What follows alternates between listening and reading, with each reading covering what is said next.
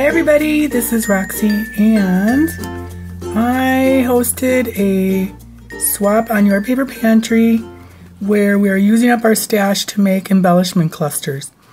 And if you don't know what these are, these can be used anywhere. You can put them on a card, you can put them on a scrapbook page, you can put them in a mini album, a pocket letter, a flip book.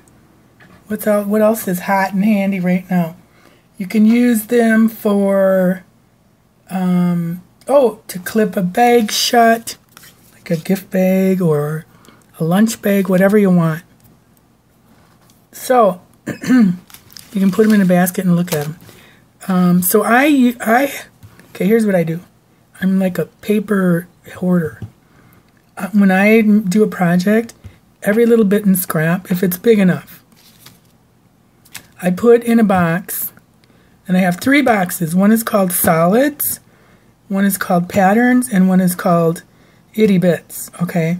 So the itty bits would be like the strips from the top of the um, 12 by 12 papers or little scraps about this size or whatever. And then the patterns are larger pieces, like I go by a, oops, sorry. I go by a certain size, like if it's this big, that goes in my larger, you know, my pattern box. And then that can even be up to this big, whatever fits in the box. And then the solids, of course, is solid paper, solid colors. So I pulled out my itty bits and pulled out, and I just went through and I just grabbed. I didn't go, oh, this would be fun to use. I just went in and I didn't even look. I pulled some out, picked up another layer, pulled some out, and then I pulled out my, a bunch of border punches, a bunch of, like a couple hard punches, a bird punch, um, circles, scallop circles, non-scallops. And I, I only use punches, so like I could go back and do this again using die cuts. But what I did is I punched out a bunch of stuff, grabbed some of the strips and did borders. Um, a lot of it I tore. I like the tore look, torn look with this um, project. This is actually a scallop scissors, you know those old scallop scissors. Um, and then you just go at, you go to town. Oh no, no, no, I lied, I lied, I lied. Then I put them in colors piles. So like blues and greens, soups, blacks and neutrals, um, reds and oranges, and then kind of a, a rusty, not rusty, but um, kind of a fall, winter pile. Like I had a bunch of Christmas stuff, and I had Thanksgiving, not just holiday, but more kind of those, you know, autumny colors, and winter, or Christmas. So anyways, and then so first I, um, and I kind of left stuff like this. If there's any words on anything, I make sure to highlight it. So this is Cosmo Cricket. This is, I think this is Cosmo Cricket too. It looks like the type. And then this was one of the Recollections hot buy pads. Don't remember what that is. So then I just grabbed my bin of ribbons. I have a couple American Crafts ribbons. You know, those tubes you get or whatever. And then I grabbed my bin of laces and trims and went to town and this was so much fun. These, some of these I stapled because I kept jamming up my sewing machine. Oh, I'll tell you why later, but so here's this one. Love it. And you gotta just free your mind of what you know about color and what goes together in patterns.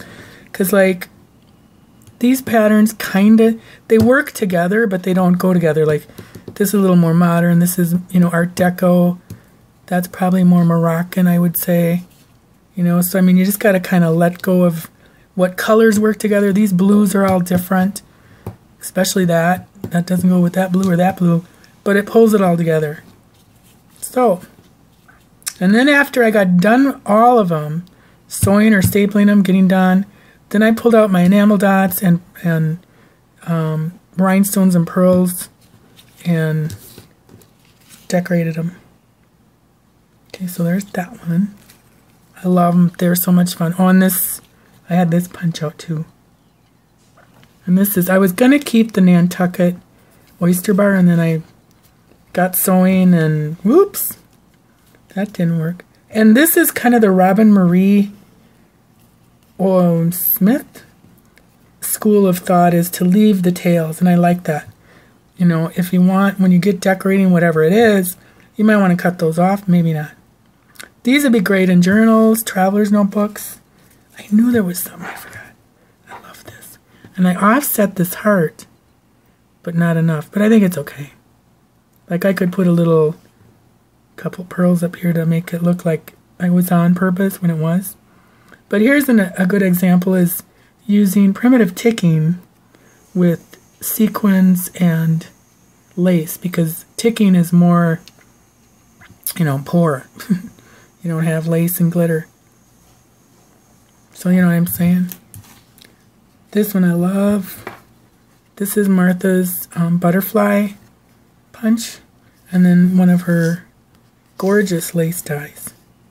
And here's this again. That that paper. And then this is like a basic gray. These are from some other collection. And here's these. These I made little pockets. And one tip, decorate your pocket before you glue it on. I glued it on and I was like, ooh, darn, I forgot to decorate it. Or I, you know, forgot I was gonna. But it was okay. I was able to, I just stapled stuff where I could then. I like that. This is that American Crafts. And like that was just a little snip of this. So I thought, you know, will throw it away. Just use it. And that's what you're doing. You're you're using the stuff you would probably throw away. This is that Craft Smart paper that everybody had. The T one, I think. I love this. I love this. How it turned out. Like that's Heidi Swapp paper from her Sugar Chic. And then here down here, there's a little, I punched out some flowers. So I just used that. And here's a bigger pocket that I made out of um, one of the journal cards that comes with the paper pad. And this was one too. I I glued it on before I decorated it. But there's that. This is um, a birthday pack that I can't remember who makes it. Super cool. So there's the folders. And then here's another piece. This was a piece that God only knows why I had it in my itty bits, but I kind of thought this was cut out from a Cricut or a silhouette, whatever this project was. But I thought it'd be kind of cute to keep that, so I did. And again, here's some cowboy print with the ticking, little polka dot.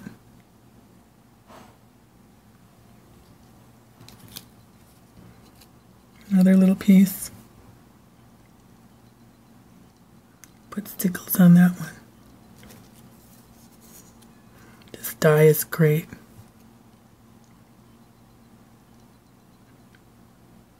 Oh, there's so much fun.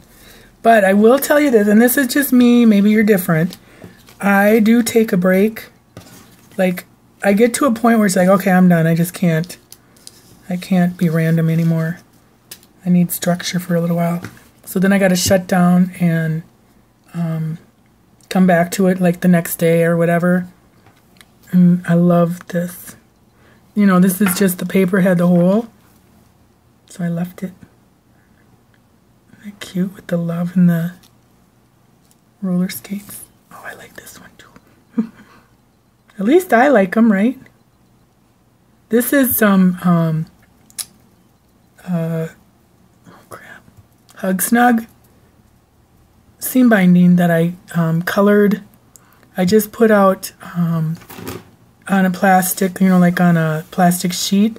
I put down, just rubbed my distress inks on the plastic sheet and then spritzed it with a little water and then just got a bunch of this white um, seam binding, crumbled it up and ran it through the ink and this is what you get. It's all these different, it's its own ombre effect.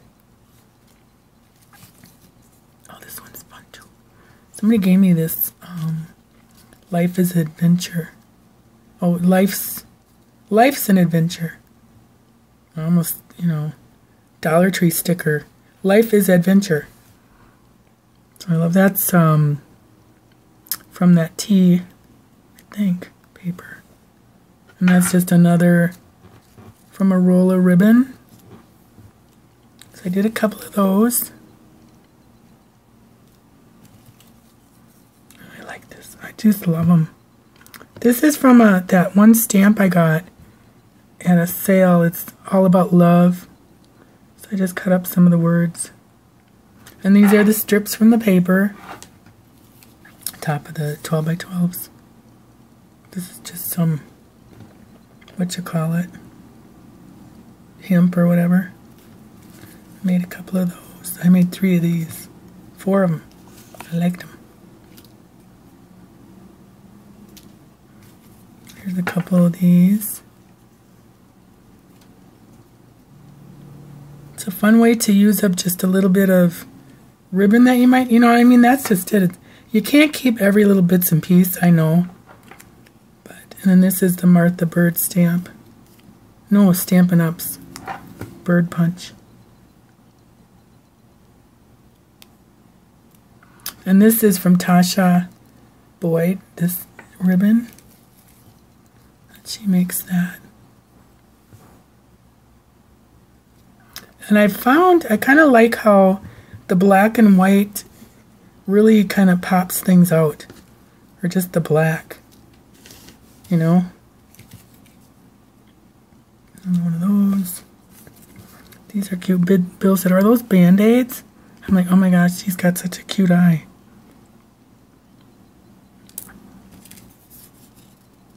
That would be cute to make band-aids like that though. Or, you know, like use them as a get well card. There, I like that. I made a bunch.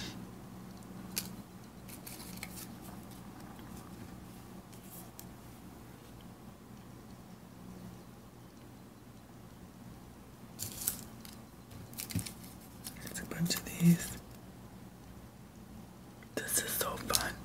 If anybody wants me to do a video on my process, it would be a little scary to watch.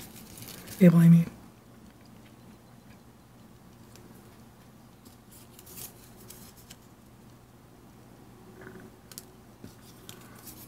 It's like a little bird. Um, is it a magpie that likes shiny stuff? It's like a little bird putting his little nest together. Just grabs a little this and that. This is adorable. I love it.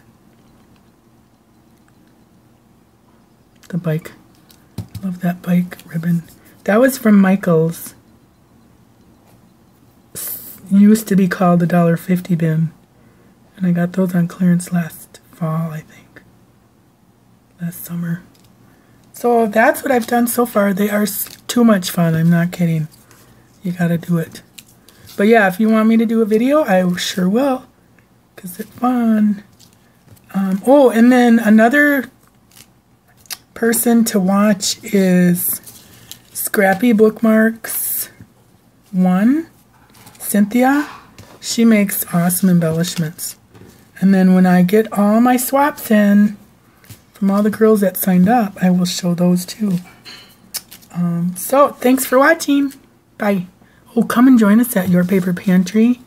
It's $12 a year, and we do a lot of swaps, crafty swaps, and you can learn from people, you can inspire people, and you can meet new people, all for fun.